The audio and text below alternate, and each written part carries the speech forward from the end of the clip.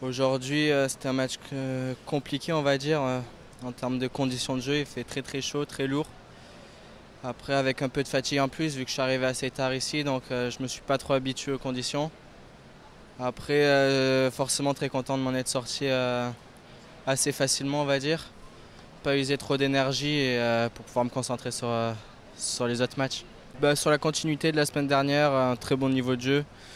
Après, il y a forcément quelque chose à, améliorer, mais, euh, mais je suis content de mon niveau de jeu, euh, assez stable en général, donc, euh, heureux. Forcément confiant, après avoir gagné un tournoi, on est tout le temps confiant. Après, il faut, faut, se méfier parce que c'est jamais facile de rattaquer un tournoi.